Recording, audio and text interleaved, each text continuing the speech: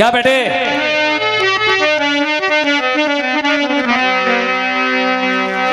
मुंबई वालों ने गाया है। क्या? क्या गाया बेटे?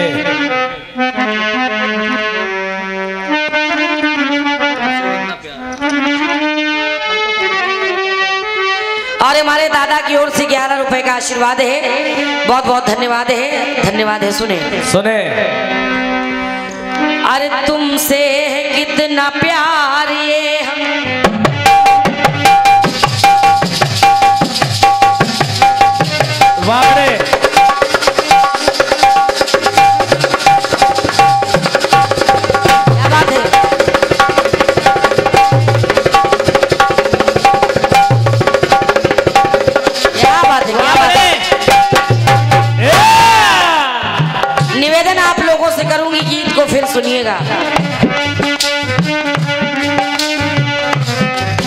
अरे तुमसे है कितना प्यार ये हम कह नहीं सकते। और तुमसे बिछड़ के एक पल ज़िंदा रह नहीं सकते। धन्यवाद है। अरे तुमसे बिछड़ के एक पल ज़िंदा रह नहीं सकते। ओ मितवा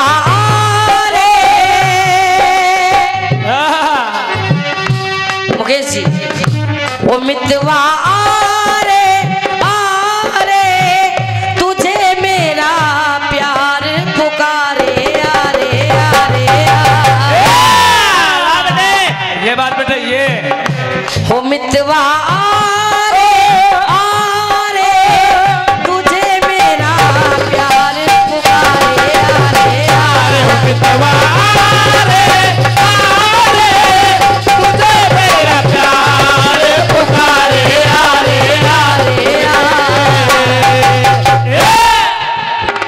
तो तर्ज हो गई। हाँ।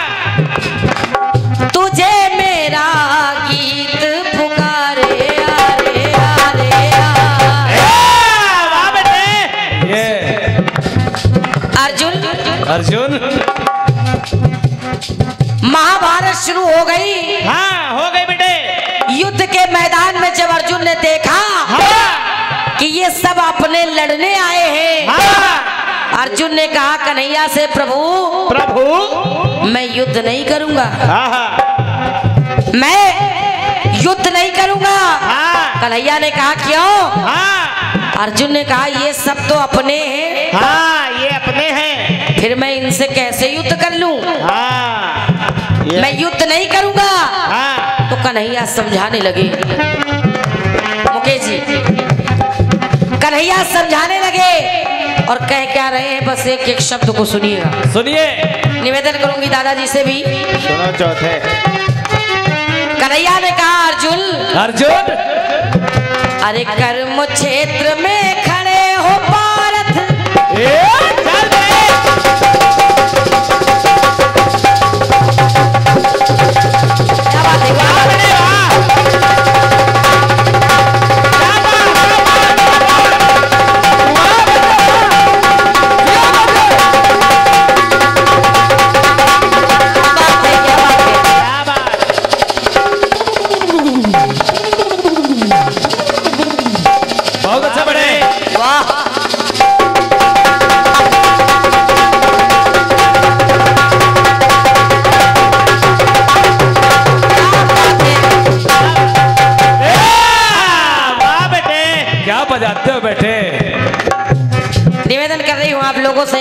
को सुने। साबाद राजा।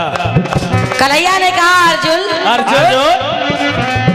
अरे कर्म क्षेत्र में खड़े हो भारत मोह से तुम अब सिंचित हो। और कुंती सुत कौशल के कारण सारे जग में चर्चित हो।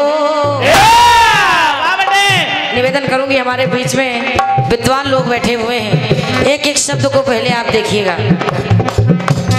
समझाने लगे कन्हैया के काल के, अरे काल के जैसे नागो द्वारा हे भारत, तुम अर्चित हो।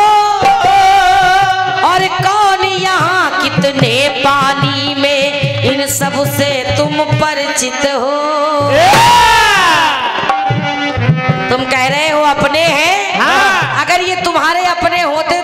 लड़ने नहीं आते। तो कौन यहाँ कितने पानी में हाँ। इन सबसे तुम परिचित हो? तो समझाने लगे कन्हैया और कहा क्या? अरे के केतु कीर्ति का फेर तुम्हारा ये सुनिश्चित है। और अगर युद्ध के मैदान में कायर यदि बन गए अगर तो मृत्यु निश्चित है। धन्यवाद है। अगर कायरता करोगे तो तुम्हारी मृत्यु निश्चित है। हाँ। तो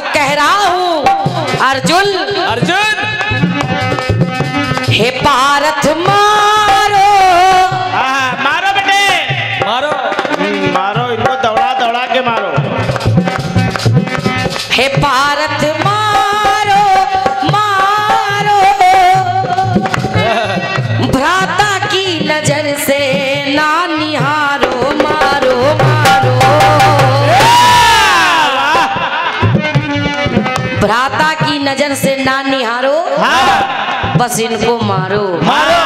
ना मारना बेटे लोग चौथी लेने जाएँगे। क्योंकि मरने के बाद ही तो इनका तारण तरण होगा। इनको मारो और इनको तारो। अरे इन्हें संघारो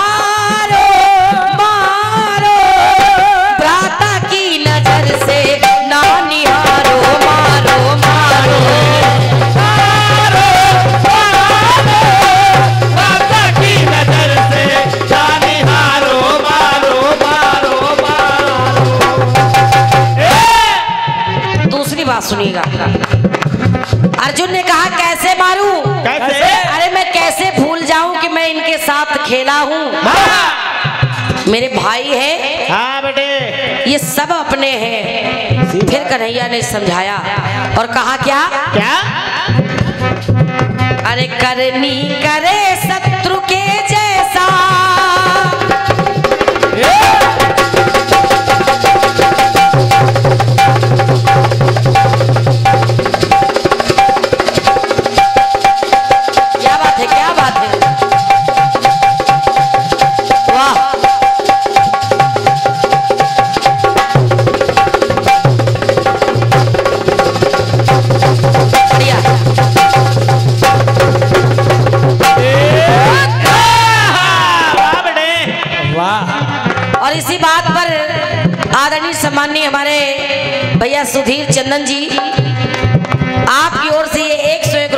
आशीर्वाद आया है। हृदय से मैं आशीर्वाद चाहूँगी मैं पहचानती नहीं हूँ आज आपको देख रही हूँ।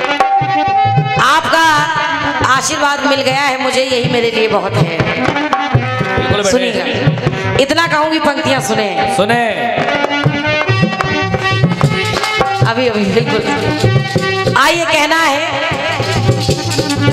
दादाजी भैया जी पंक्तियों को गौर से सुनिएगा। कहना है क्या? अरे करनी करे शत्रु के जैसा। कहो पाठ कैसा हित है। और कर में धर्म ध्वजा तुम धारो जिससे होना जनहित है। शब्दों का चयन देखिए। हाँ देखिए भाई साहब। कर में धर्म ध्वजा तुम धारो जिससे होना जनहित है। और अर्जुन शायद तुम भूल गए हो। न जाने कितने के कितने लोगों के प्राण चले गए इस युद्ध में। और तुम कह रहा कह रहे हो कि मैं युद्ध नहीं करूँगा? तो सुनो। अरे कंचन सातल लुटा गए जो। उनका नाम संग्रहित है।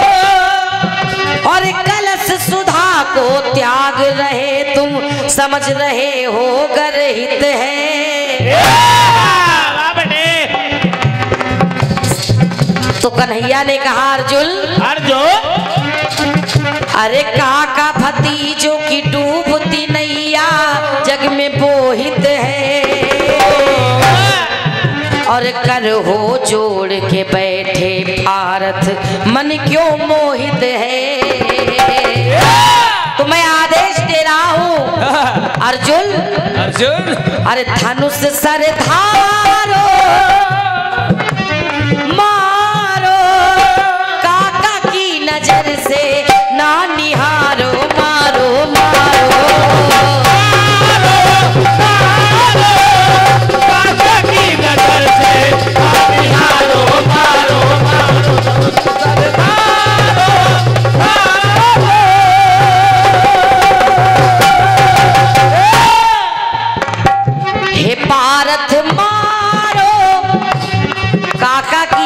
से ना निहारो। गीत को छोटा कर रही हूँ। अंतिम बात सुने। लाख समझाने पर कन्हैया के अर्जुन मान नहीं रहे हैं। कन्हैया को क्रोध आ गया। कन्हैया ने कहा सुनो। सुनो। मैं कह रहा हूँ कि जब ये मरेंगे तभी तो तरेंगे। तो इनको तारो और इनको मारो। मारो। कहने लगे कन्हैया। हाँ पहले मारो फिर काटो इनको।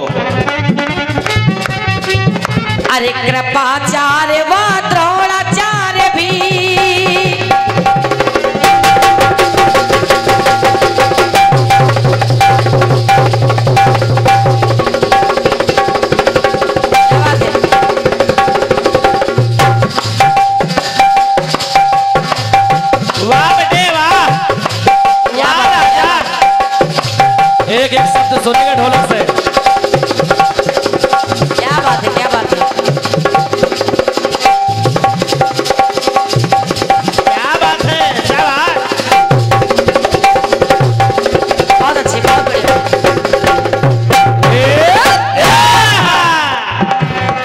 निवेदन करूँगी। भैया जी से चंदन भैया से सुनिए। हरे कृपाचार्य व द्रोणाचार्य भी लेकर शस्त्र सुसज्जित है। और कुटिल दुशासन दुर्योधन भी योद्धा विकट शत्रुचित है। अर्जुन अर्जुन। तुम कह रहे हो मैं लड़ूँगा नहीं? हाँ। जरा देखो अपनी आँखों को खोल के। देखो। कि कृतवर्मा जयद्रथ के कर कर तो रक्त से रंजित है। और कपटी अश्वत्थामा भी तो करके कपट न लज्जित है। कपटी अश्वत्थामा भी तो करके कपट न लज्जित है। तो कहा अर्जुन से कन्हैया ने अरे कुल दीपक बन सरस पितामह जग में पूजित है। और किया रोशनी जीवन में किए पुण्य अर्जित है। तो अर्जुन। इन्हें संघारो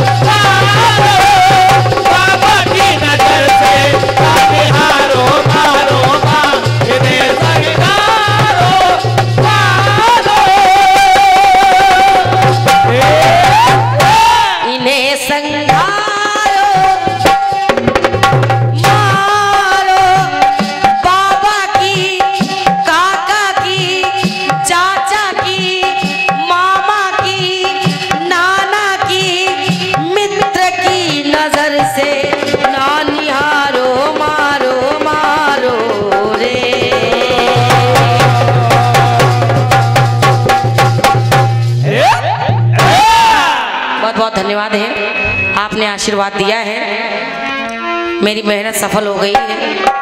हेलो। ये वो ऐसा नहीं बोला जैसे बोल रहा था। दो चक्र में बहुत अच्छा बोला है। हेलो, ये बढ़ा दीजिए। सारे माइक अपने आप का मूल्य जवाब केवल एक एकांतरा से। केवल एक एकांतरा से, ताकि आपको ये भी ना लगे कि गीत का जवाब नहीं है। सुनिएगा।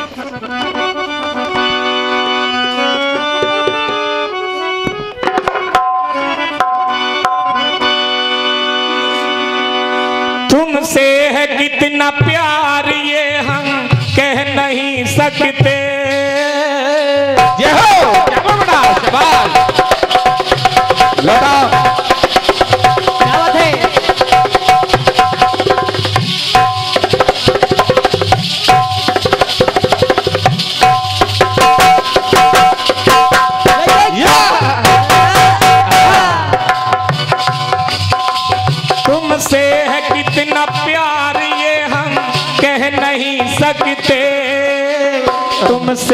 बिछड़ के हम ज़िंदा रह नहीं सकते ओ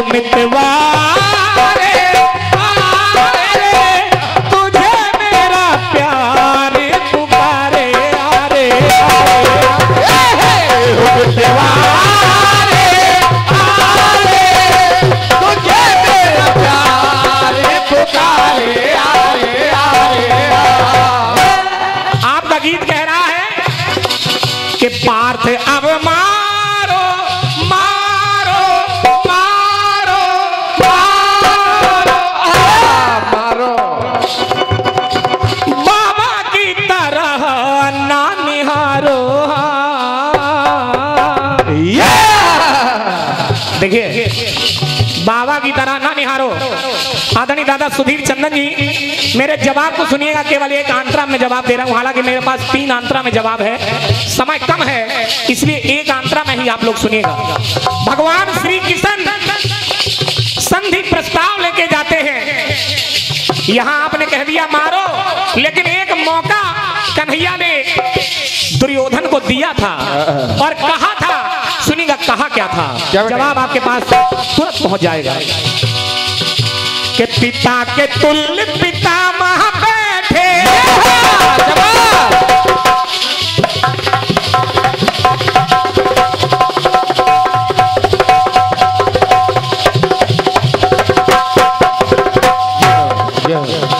इस सभा में अरे पिता के तुल्य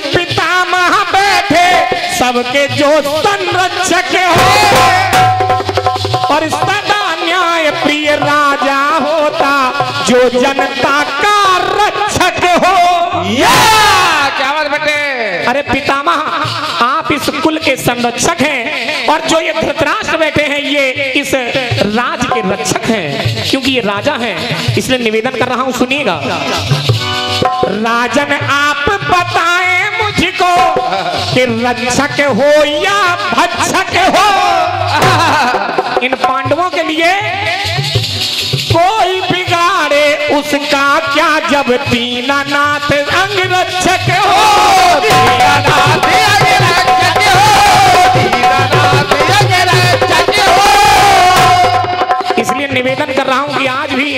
गाँव दे दो। शाबाश। लड़ाई मत मचाओ। क्या बात है बेटे। निवेदन कर रहे हैं पांडव की तरफ़ से हम के युद्ध को टारो टारो टारो। बुरी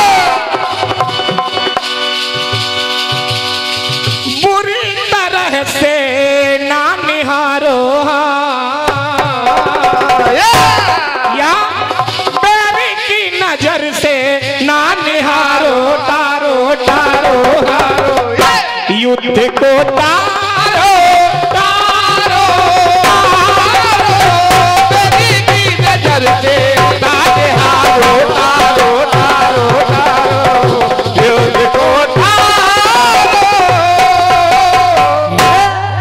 बस, युद्ध को टारो, बैरी की तरह से ना निहारो। इसी प्रकार से जब समझाते समझाते नहीं माने, तब ये बाद में बात आती है, लेकिन इसके पहले संधि प्रस्ताव आया था चलते हैं। मैं अपनी कमेटी से निवेदन कर रहा हूँ कि आप लोग क्या सुनना चाहते हैं, वो मैं आपको सुनाऊँगा। सुनिएगा।